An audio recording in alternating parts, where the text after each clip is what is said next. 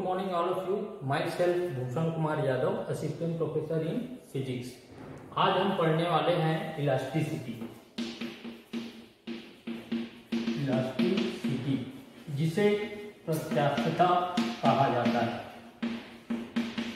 तो प्रत्यास्थता को जानने से पहले हम पदार्थ के तीन अवस्थाओं के बारे में जान लेते हैं। हम सबको पता है पदार्थ के तीन अवस्थाएँ हैं। फ़र्स्ट है सॉलिड ठोस दूसरा है लिक्विड रॉक और तीसरा है गैस तो इलास्टिसिटी जो है ओनली सॉलिड या ठोस पदार्थ में ही पाया जाता है. लिक्विड और गैस में नहीं पाया जाता. या फिर हम ये बोल सकते हैं elasticity is a property of solid material प्रत्यास्थता ठोस पदार्थ का एक गुण है। लेकिन प्रत्यास्थता सभी ठोस पदार्थ में नहीं पाया जाता। ठोस पदार्थ को भी दो तीन कैटेगरी में बांटा गया है। अब देखा जाए तो ठोस पदार्थ का पहला है प्लास्टिक बॉडी।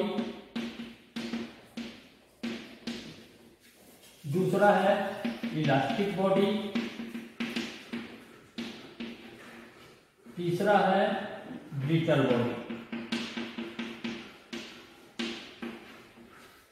प्लास्टिक बॉडी मतलब सुघट्य वस्तुएँ इलास्टिक बॉडी मतलब प्रत्यास्थ वस्तुएँ ब्रिटल बॉडी मतलब भंगुर वस्तुएँ तो इलास्टिसिटी ओनली प्लास्टिक बॉडी में ही होता है।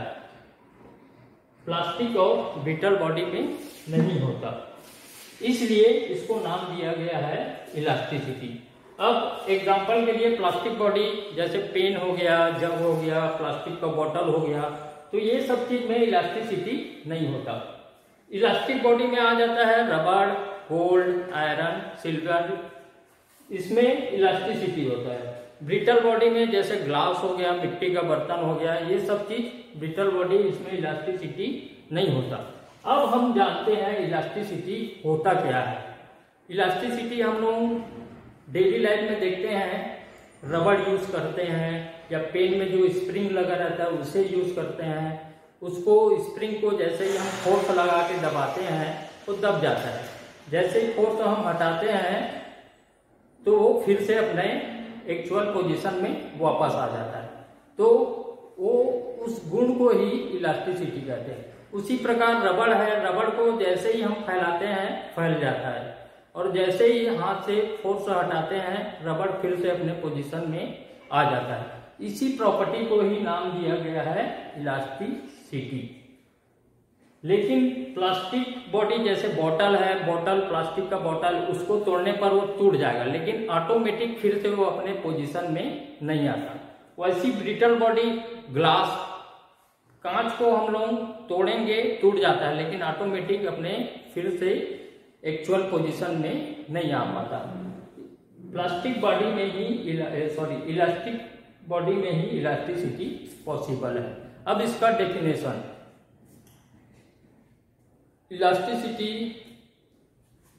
एक्चुअली होता क्यों? है एक्चुअली जब भी हम कोई इलास्टिक बॉडी पर फोर्स लगाते हैं एक्सटर्नल फोर्स लगाते हैं, तब उनके अणुओं के बीच एक रिपल्सन फोर्स वर्क करता है, जिसे हम डिफॉर्मिंग फोर्स विरूपक बल बोलते हैं।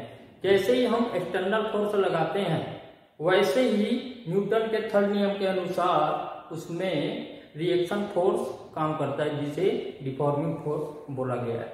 उसके कारण ही बॉडी अपने एक्चुअल पोजीशन में वापस आ जाता है।